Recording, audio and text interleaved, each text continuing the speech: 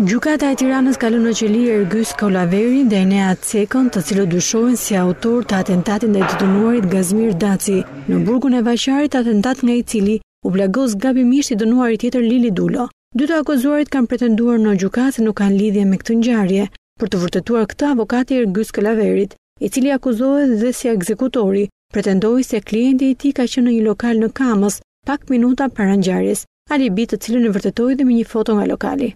Shtetasi Ergys Kolaveri, ne kemi provuar gjykatës, që në orën katër pa dhjetë, është ndodhur në një lokal në institutin e lartë bujqësor.